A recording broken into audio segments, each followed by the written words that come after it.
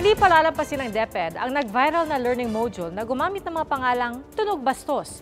Ang aksyon laban sa nasa likod nito, alamin sa report na ito. It's really sabotage of our programs. Put us in a bad light and it's clearly deliberate.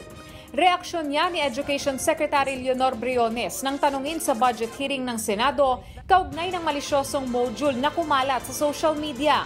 Ang mga ginamit kasing pangalan sa isang halimbawa sa module may double meaning. Mga laman noon ng green jokes na hindi akma sa mga bata. Paglilinaw ni Briones, hindi galing sa DepEd ang module. It's a review center located in a very remote place in Zambales. So that's quite curious. Why would a in in some uh, place in Zambales put up a review center then attribute it to DepEd?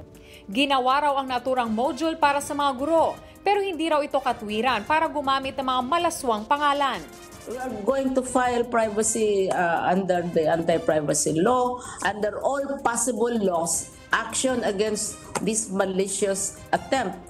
Bago ang mga malisyosong module, Dati na rin napuna ang DepEd TV na bahagi rin ng blended learning ngayong pasukan, pero para sa ibang dahilan naman. Okay, Tagaytay City is known for wonderful picturesque. That is grammatically incorrect. Okay, Tagaytay City is known for its uh, maybe uh, picturesque Mount Taal. Remove the majestic. Okay, because when you say something is picturesque, it means it's already very beautiful to begin with.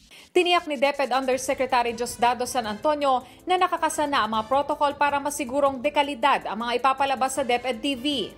Sa kabila ng mga kontrobersya, patuloy ang pamamahagi ng mga learning module tulad sa Abra kung saan nangabayo pa ang mga guro.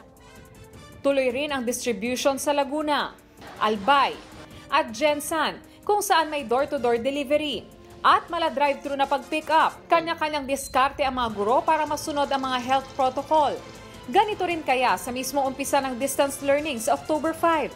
Pangambayan ng Alliance of Concerned Teachers para sa mga kapwa guro. Doble trabaho ng araw, nalalagay pa sa alanganin ang kalusugan nila. Dati nang iginit ng DepEd na hindi nila pinababayaan ang kanilang mga guro at tauhan.